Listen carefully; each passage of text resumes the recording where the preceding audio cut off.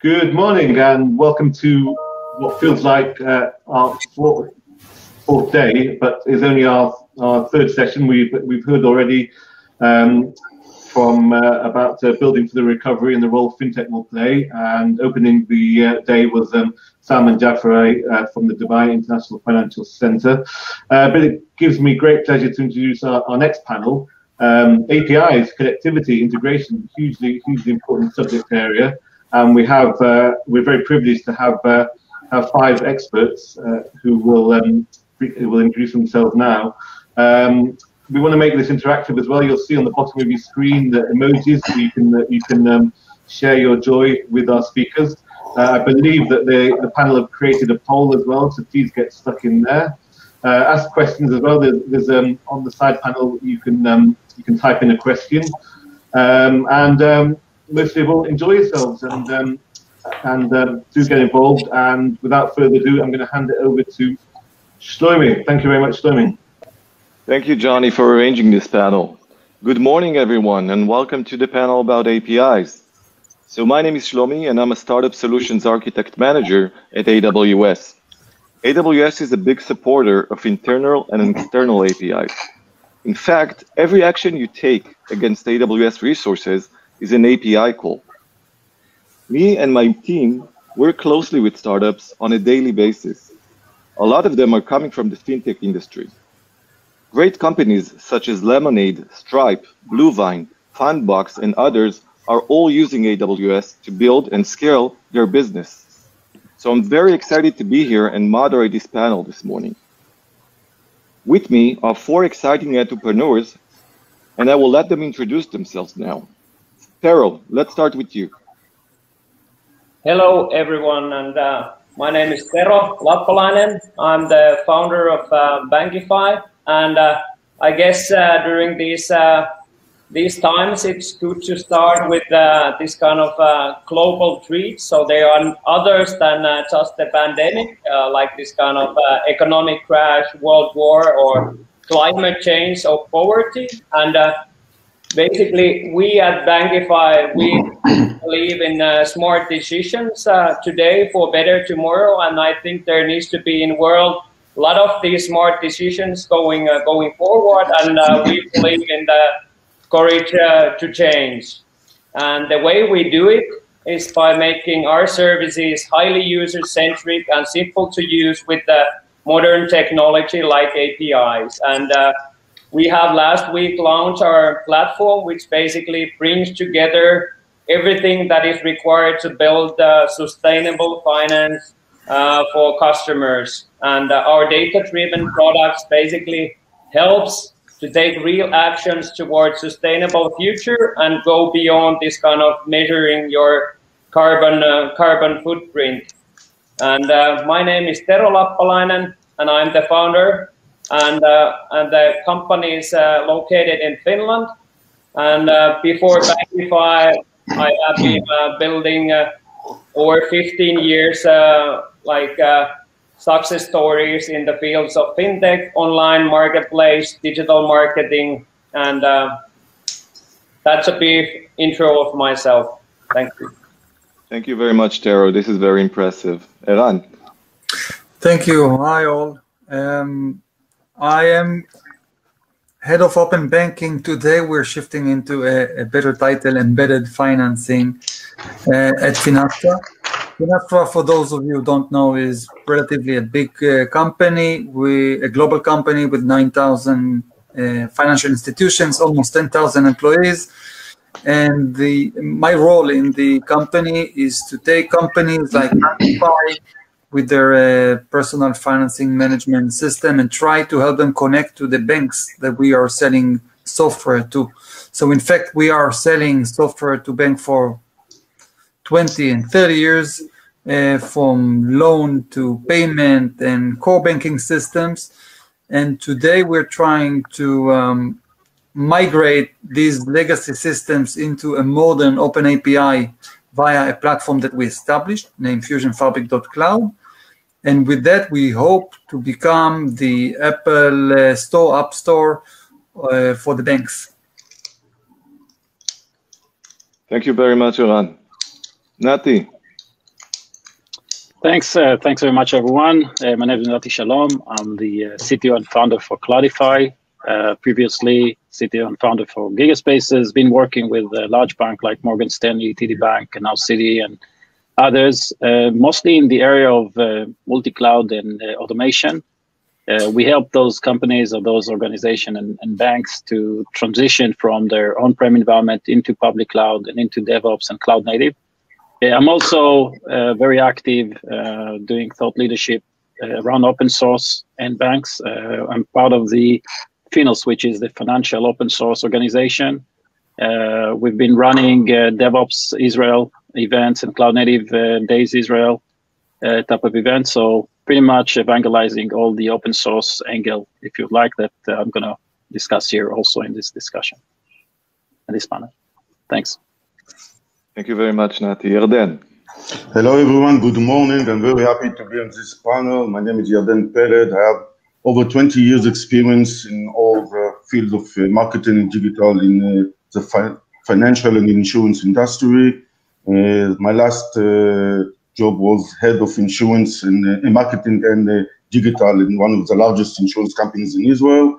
and after being in these areas for a long time, I noticed that there are two major problems in this uh, industry, in the uh, insurance. The one is insurance products are not suitable for digital purchase. And the second one is the cost of the distribution to acquire a customer is very high and it's getting higher and higher. And these two points lead us to be one of the co-founders of Apfie and CI. Apfie is API for insurance ecosystem. CI, as I said, connected insurance and uh, we'll elaborate it, uh, what we are doing, how it can uh, succeed in the open insurance later. Thank you. Awesome. Thank you very much. So let's get uh, the discussion started. First of all, uh, I want to say that I will leave time for questions at the end, so feel free to submit them as we go. Uh, if I will see an interesting question as we go, I will pick it up and ask it during the discussion. But let's set the stage before that. The word API is used a lot in the fintech vertical and other verticals as well. So Nati, can you please explain to us in very simple terms what APIs actually mean? Yeah, so I think uh, API is uh, the, the, simplest way to describe it. It's the English of software. It's a way in which software can talk to one another. And uh, one of the things that we know is called REST API, which is the, mon- the most common one uh, in the cloud type of environment in which we're using uh, the protocol that we're using in our browser to communicate between backend services in the cloud and infrastructure, etc. It's the key enabler to enable the next level, which is automating everything. And the reason why we believe that the API has gone to be very popular is because of the need for automation. Uh, when we move to a cloud, everything has to be automated. We cannot really use the human interface that we previously used, like UI and, and uh, buttons and, and, things of that line that you're accustomed to use in the, in the browser. And uh, it's a software to software type of interaction. And software speak, the, the, the language uh, in which software speaks is an API language. I see. So basically, it's a mechanism for two softwares or two machines to communicate with each other. That's that's great. But Tero, maybe you can answer this one. Uh, why APIs are important, specifically for the fintech industry and in general? It's a really good uh, good questions, and uh, and uh, uh, basically APIs support companies to drive uh, fast innovation and to solve bigger global challenges with basically with smaller teams.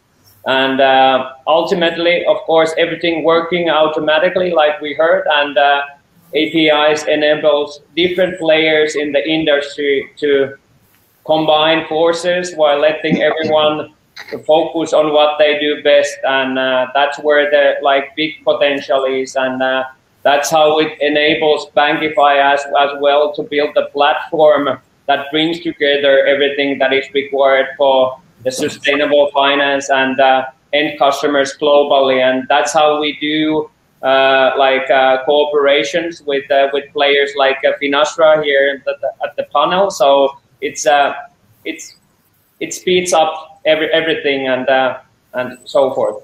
Thank you. That's awesome. So we have business partners here in the panel, Finastra and Tero. That's great to hear. Um, so I, I see it. I guess uh, I understand now what are APIs and, and why do we need them. But can you tell me? I'm not coming from the fintech industry and I'm not very familiar with all the regulations. So, uh, Eran, maybe you can explain to us about open banking a little bit and, and what is PSD2? Sure, sure. Um, the regulator uh, approximately three to four years ago in the UK first and in Europe uh, second uh, decided to put the end user, the client, myself, yourself, uh, in the center. In the past, if you had uh, your bank account with, let's say, HSBC, you were only able to go into the HSBC app via mobile, via web, and to see your balances through the app. Why? Because bank supposed to be a safe place, and the app is fully protected. Uh, protected. So the bank told you if you want to see your balances, come to my app. The regulator said no.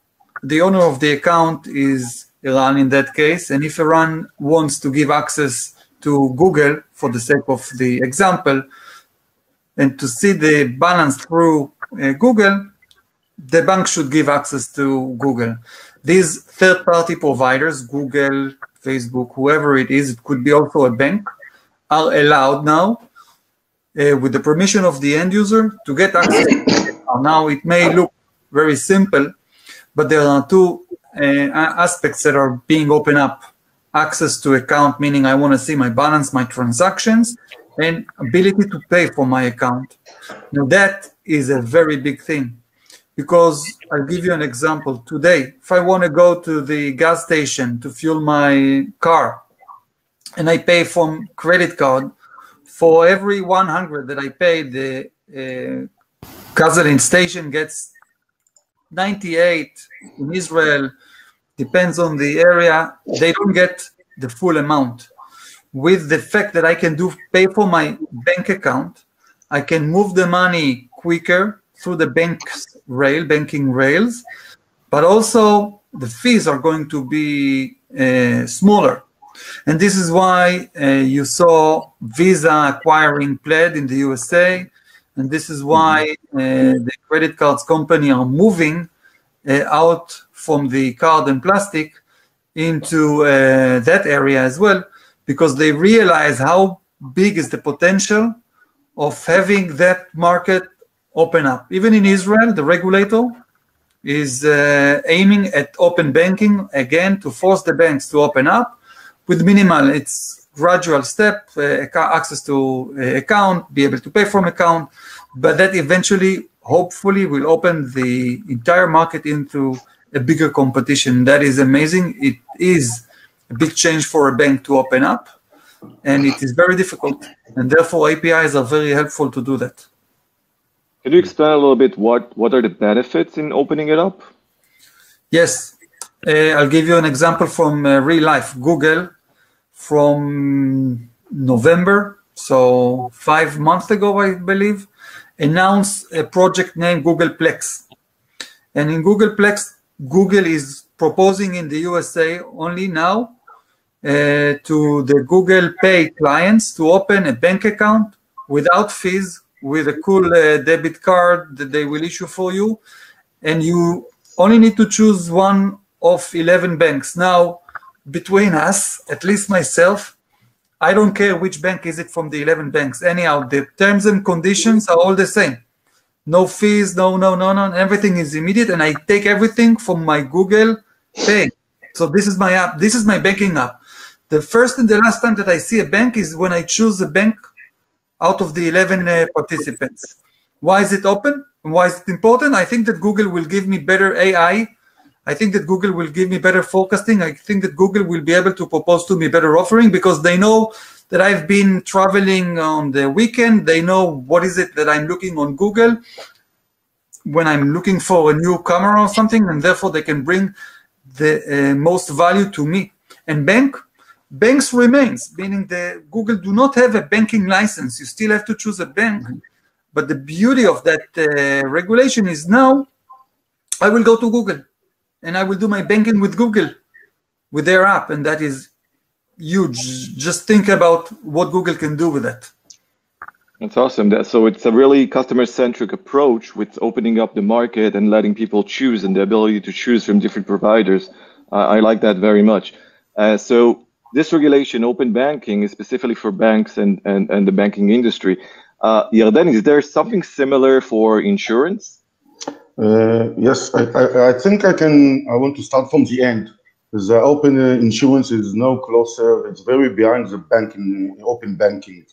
Uh, and I think it has some some several reasons, and the most common is that uh, the customer is uh, the king, the customer is in front. And API, if we understand that it's uh, two programs that have to talk between them and put the customer ahead. Uh, and if we want to talk about open insurance, I think we need to talk first of all about data. I think everyone knows that data is a king. Everyone is talking about data.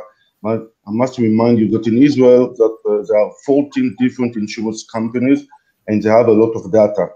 And not that there are 14 insurance companies, they can sell non-life and life uh, products. It means they have financial products, they have the P&C products, and they have the long-term products.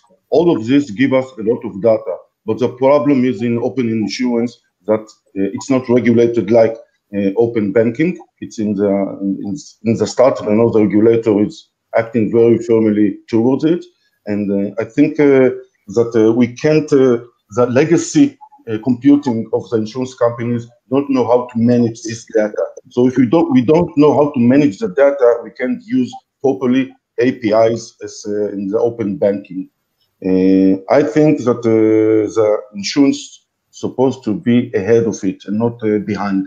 They need to build an open APIs to all the products, to all the services, no matter what, no matter if some partnership is coming and asking them to build an API. I will give an example later about our uh, uh, products, but I think what the API in the insurance uh, industry is trying to achieve is a few, several goals.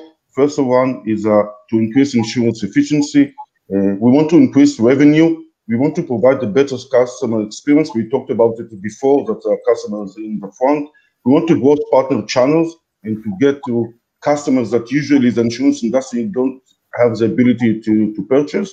And we want to innovate. All these uh, uh, uh features or goals uh, stand on the data. So I think uh, what's the goal for open insurance, a true open insurance using the APIs, open APIs will be to collaborate with startups, that API startups that can give us the opportunity to work faster and to give the insurance companies, the legacy companies, to give us the opportunity to build a true open API to give the customers, uh, I think, the better customer experience that we now get from the open banking in other uh, areas. I see. So the, there's still way to go there in the open insurance. There's a long way to go there, and uh, for now, from what uh, my point of view is that we are uh, talking with all the insurance companies in Israel and, uh, and abroad, and we can see the difference between uh, uh, national insurance companies to Israeli companies. There's a big difference of managing the data, and I think one of the issues, and maybe not or Eran can talk about it, it's a cloud computing. I think only now insurance are getting forward to cloud computing, and it's very helpful if you want to build an APIs and all the startups that uh, uh, can can benefit from the uh, cloud uh, computing. It will, I think, it will do the change for the insurance companies as it did for the bank insurance, for the open banking. Nati or Eran, you want to take this? Yeah, I usually uh, use the Netflix versus Blockbuster experience that we've seen in yeah. the media business. Uh, I think that's a good analogy on on what happens. If you look at Blockbuster, those are probably younger generation here. I'm not even sure that they know what is Blockbuster, uh, but they used to, you know, provide you uh, videos on, on on their stores. And uh, Netflix took a different approach, which we, you know, basically moved completely into cloud. What what that made is a change in a couple of, uh, of uh, areas that I think is relevant here. First of all, it created an infrastructure based on public cloud, but the most important thing, it enabled them to focus on the user experience, the business, and then what we've seen them working towards content uh, and, and business efficiency and uh, creating application on different platforms. all the things that are related more to the business than in the infrastructure itself. Uh, the banking industry is, is still stuck in you know managing infrastructure and only now starts to talk about user experience and only now starts to talk about the value to the customer. How do we sell all those type of things that i think uh, we're missing at least in the digital world? And what that transition to api and cloud will will uh, i think will make is is a very similar things. Banks that will realize that uh, will be able to be the the, the netflix. Uh, those who would not would end up being blockbuster. I think that's that's the message I want to. If I just may, may add one thing, is this is this is I think the difference. The banking, the open banking is the experience, and the insurance is in the infrastructure, and they still want to to you know to jump into the customer experience. And if you don't build the API correctly and the data, you won't have a, a customer experience no matter what. So we're still in the infrastructure in the insurance industry. So it's setting the grounds first before you learn how to walk basically this yes, is what you yes. say. and I, I like what you said Nati. it's it's like the uh, the ones that disrupt the market they will uh, uh, be the leaders of tomorrow right so it could be the enterprises or the banks in your case or either a startup that comes in and works together with those enterprises to uh, uh, bring it along awesome so so we have a lot of experience from different areas in this panel which i really really like uh, banking insurance the the ba- startup angle open source so let me open, let me ask you like a, a wider question, open question, and you can take it uh, uh, one panelist at a time. I want to understand how your company is using APIs today on a daily basis, and what do you think are the most interesting aspects and the greatest promise of APIs in your field in the future? So let's start with uh, Tero give us the startup angle. Yes, so it was there was a good discussion on uh, on this kind of the more regularity regulatory point point of view and what the like Eran mentioned what the open banking is capable of uh, and uh, for us especially this kind of uh, putting the customer in front that that is the like uh, main thing. And there, there of course uh, more regulation is needed and whatnot in order to make the power to them. And uh, and uh, and for us it's about uh, making concrete use cases out of out of those that where we solve specific customer problems by then combining these APIs together and uh, and doing the cooperation. And uh, and therefore we place much importance not only like of course making the API secure and developer friendly so that they can be taken into use but also then uh, the UX design part of it that there's like uh, how how those uh, work as well and uh, providing the value to the end end customers because that's eventually why the APIs exist and uh, so forth. And uh, what we then uh, do best uh, is uh, responding uh, basically these changing and evolving end customer needs and enabling enabling them to make this kind of smarter financial choices and making that basically effortless through the automation and uh, personalized recommendations uh, towards this kind of towards sustainable financial wealth. And uh, one concrete use case uh, relates to smart investment. So now, what it uh, this kind of uh, API economy makes it makes it possible. So we can already like personalize like end customer journey and recommend uh, these kind of uh, good uh, financial choices for regarding investments and uh, which are also like uh, good for the environment. And uh, and then on top of that we can make seamless the money movement with like doing like payments with with open open banking and even automate the transaction so that you can while doing uh, like normal transactions on a daily basis that you can put uh, saving rules uh, towards that investments which pile up the wealth uh, for that individual. And it's really important uh, that we increase the wealth of people, and that will uh, like bring value on a global scale in in every part of the world, with and creating more peace, more wealth, and in in the world. So that's Bankify's angle to tackling bigger challenges and so forth. It's awesome. So basically, personalized experience and, and making a better world. Yes. That's what APIs will bring us. That's, That's what but... APIs will bring us. That's it's already here, and what will be the future? It's. Uh... Yeah, so let, let's hear it from uh, uh, uh, one of your partners that you collaborate with, Eran. What what do you think of that, and where do you use APIs on, on a daily basis in your product? What we do today, we we are taking, and it's a journey, and it's complicated. We're taking all of our legacy systems and rewrite their internal native APIs that were written 30 years ago into public modern API. And this is tough. This is difficult. This is not an easy save as JSON and you're good because of the fact that the way that the uh, fintech is expecting to get it is entirely different, more uh, you know simple than the native API was written, and uh, the journey is is tough, long, and this is what we do on a daily basis. We go to all of our divisions, to all of our products, and rewrite internal APIs into public APIs, while we prioritize the work by companies like Bankify that are telling us we can do that. And for that, we need this type of APIs. And we go and we prioritize the work according to what we hear as a need. One thing that we realize, and banks as well, they will not compete with uh, Google right?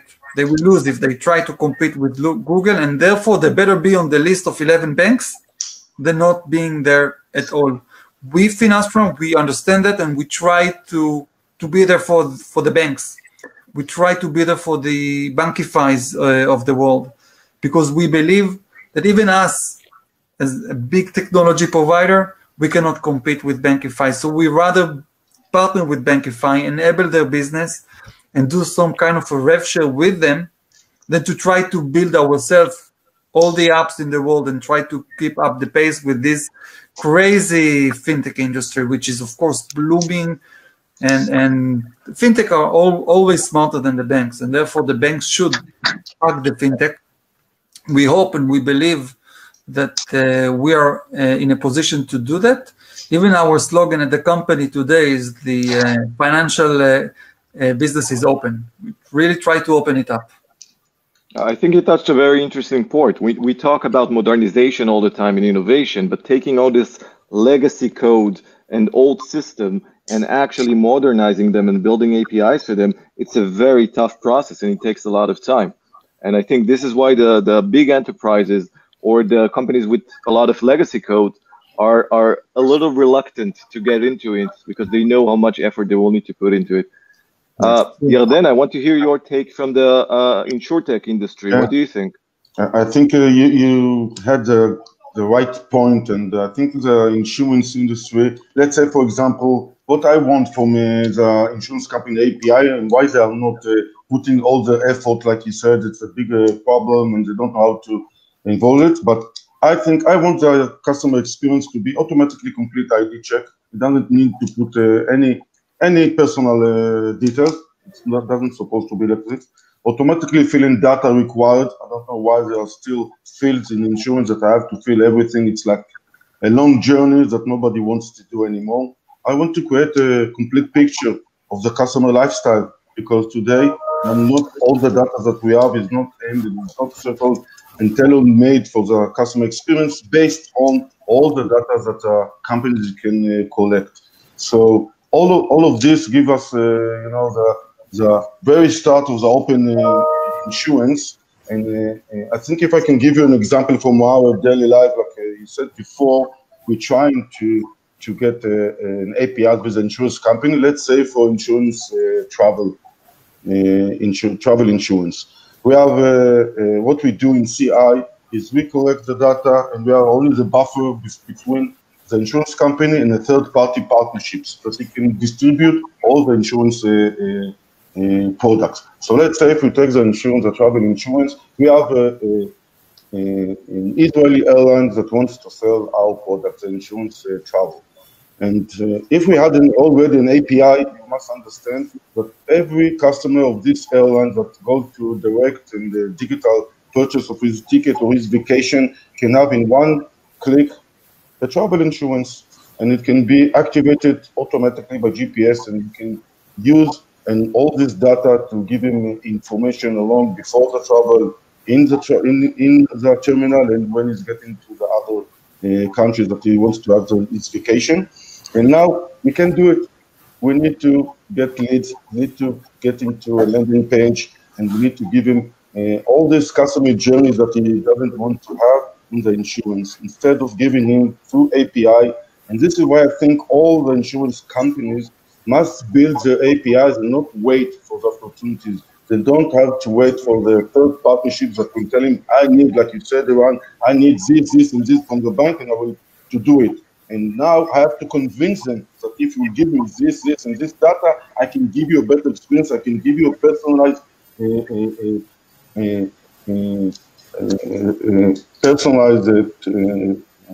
I'm sorry, swearing, and the, the specific amount to pay for the tickets and for the insurance. And this is something that is still not going on in the uh, insurance uh, area. Another example, very short, it's cyber insurance. If you want uh, to sell, it's not selling, no one sells insurance, cyber insurance, because it's very complicated. Through APIs, you can understand that we can give the insurance companies a low risk, a very experienced customer experience, and in one click, and we can uh, be connected to the customer. We can give them now a prevention and uh, from cyber attacks very connected 24/7, and you don't have to call by phone to a TPA or to another to our uh, insurance agents agents to uh, to claim. So I think all this API, if we have it in the insurance uh, companies, will lead us through the way to the experience, customer experience, and give us a lot of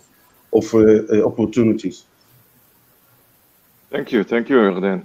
That's uh, uh, very insightful. Uh, Nati, for someone that's coming from open source and from uh, Cloudify, that I guess using uh, uh, APIs uh, intensively, I, I, think you you can shed a bit more light to this discussion of the greatest yeah, promise. Like actually, to... if you can if you can focus on that, what is the greatest promise in APIs?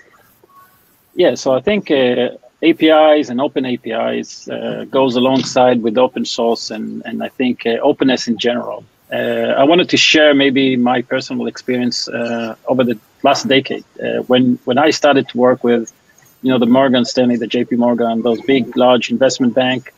Infrastructure and API was kind of done behind closed doors, and it was very secretive. And uh, the only way in which bank collaborated is that you know Goldman took J.P. Morgan team and and have them uh, running their data center. And and as someone from the outside, uh, everyone was kind of reinventing the wheel all the time, just copycatting what others were doing. And uh, and at the end of the day, the cost burden was for us as customers because when the cost of infrastructure is pretty high, when they need to invest a lot of time, we paid double. One in the user experience, and second that cost at the end of the day, the bank don't want to lose money, so they obviously uh, throw that cost at us uh, in the in the cost of service. Uh, what I'm seeing right now, uh, and I'm part of the Finos organization, which is kind of uh, amazing to me. Right now, you can see J.P. Morgan, Deutsche Bank, Morgan Stanley, all sitting in the same room discussing how to open their API, how to open an infrastructure. In addition to that, they're also discussing with the cloud providers like yourself, like Google, like others, what do they need from the cloud providers infrastructure in order that they would be able to uh, transition into those clouds. So I think the the main challenge that I see is that banks already realize that that that that need to transition, but they have a lot of challenge on how uh, actually how to move from where they are today into this new world, and and and that's where the open API, the open source, this open community and open mentality is key. It's not a it's not an optional. It's a it's a necessity. If you don't do it, you're gonna die and that's very different than I think the previous wave of you know decade ago, where it was mostly driven by efficiency, meaning that if you don't do it, you're probably going to pay more cost, uh, but you could still run the business the way you are. today we're at the point in which it's driven by necessity. If you don't do it, you're going to die, and that's why we're going to see much more investment and much more aggressive plans towards it. And I see uh, whose name is Sho, uh, Shoham Shoham Ben Ruby is asking a question whether the uh, the banking uh, regulators will have to that question is that when there is a big customer demand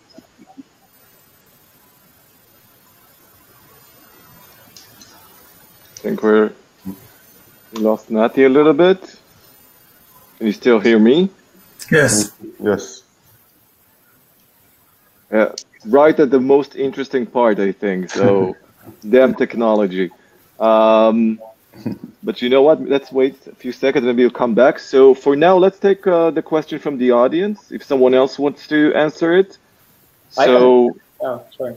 Shoham asked, "What do you think? Where, where, what's the future of the regulation in, in Israel of open banking, and if someone or some entity uh, is going to block it?" So who wants to take this? Yes, Tero from Bankify here. Can I like uh, say a few words uh, in the in the beginning regarding that? So how, how I see it, like uh, at at the moment is uh, no matter if it's uh, PSD2 GDP or whatnot regulation, open banking. It's I, I think we are like uh, in in Europe we are a little bit uh, in that sense behind. So we need, needed to do this uh, this kind of regulation, and it's uh, of course those who ha- hasn't like uh, set any any any rules and regulations yet. I think they have a big like advantage in that sense that they can make it even better, even like uh, faster because it drives the innovation. And, uh, and creates the prosperity in the country. So I would say that it's just ma- matter of uh, how fast you want to innovate and uh, so it's just uh, do you want to create wealth uh, in, in those countries that uh, making uh, making the data available that this kind of the small, smaller and and teams can make bigger things in country and so forth so i see that's just a matter of in that sense time Oh, Nati is back. Nati, we're discussing the question from Shoham. If you want to finish your, your sentence there because we lost you. Yep. Sorry about that. So, so I think the question again, uh, the analogy that I made is uh, what happens in the telco business, in the mobile business, and we've seen how uh, the pressure from consumers uh, made the regulators change the rules quite aggressively towards that. I think there is enough critical mass here in terms of the need for change uh, that I don't think the regulators will be able to stop it. And we see also uh, a new kind of online banking only thing by the founders of Mobileye uh, that is going to be launched here. And uh, and the main driver for changes is competition, and that competition is already happening in Israel. Uh, so if I look at all that, I don't see that stopping anywhere, and the banks already realize that, and I think we're beyond that point. Okay. Um, I don't see any other questions in the feed. If you have any question, please submit it. So maybe we'll do another one for now. Uh, Eran, where, where do you see what's the future of APIs? What needs to be done to improve, if it's the infrastructure or the collaboration between the entities? Where, where are we heading in five years' time? Where do we see APIs go? So I'm not very optimistic with the future of APIs as is. I think that um, this is like plumbing. If I do an analogy to a house, these are bricks and building blocks, but not the entire compound, not the entire house. Yes. I do believe that the dialogue is going to change to value proposition, to use cases, to persona, and uh, it is changing and shifting from usage of API to a whole solution. Actually, the winners are going to be those who are able to prove a full value end to end to a client. And if that wouldn't change, then uh, it wouldn't work. I can tell you, I can see Nordea is a, it's a big uh, Nordic bank. They had the open banking from from very early stage, more than five years ago, really ahead of the game, and they kept on saying we will monetize it, we will do a lot uh, with it, and they didn't. They did not deliver, not because of them, because of the fact that API in itself is is just an API. Get account is, is nothing. Okay, I have the account. What do I do now? If I don't bring a value proposition end to end, then I bring nothing. And I do believe that the uh, shift in five years is going to be from APIs to use cases, and banks will do something that we call today banking as a service or uh, embedded financing, which is here is my license as a bank, go and do something with it. I don't care. I give you my license, it's my responsibility, my regulators and everything, but here is the business for you. You want to do payout globally? You want to do lending globally? No problem. I am a lender. Here is an API or a set of API or a use case. Go ahead, whatever company you are, and do your lending. We already see something like it starting to build up in Israel with the collaboration between Shufersal, uh, Rami Levy, the Discount Bank, uh, and uh, their um, I forgot the name of the app, but the mob, the wallet, which is exactly that. This is the direction. Yes. Remember, Rami Levy holds. It's a retailer for all of the foreigners. Uh, he holds a million clients. He knows them when they come, what they buy, when do they split the bill, and he can give them additional value-added services. Sometimes better than a bank, just Right. because of the So footprint. the- APIs are just the tools, basically. Yeah. APIs are the tools. They're not enough to bring value to the Exactly. customer. It's embedded I- I finance. agree. Banking as a And, um, we need to uh, we need to wrap up. I'm afraid. We're wrapping up. One So sentence, thank you Shlomi, I think, I think it's very Yes. right. The new distribution platform by third partnerships will be the one, the use case that this industry needs and the API needs. So I agree with uh, Nati. Johnny, you are a party pooper. Thank you very much for the very lively discussion. Thank you, Johnny, for having us. Thank you, John. Thank you all. My pleasure. That was uh, that was fascinating. Thank you very much, guys, for sharing your, your insights. Thoroughly, thoroughly uh, enjoyable. Um, please show your appreciation um, and give a, a virtual round of applause. You can you can click on the emojis at the bottom as well. Um,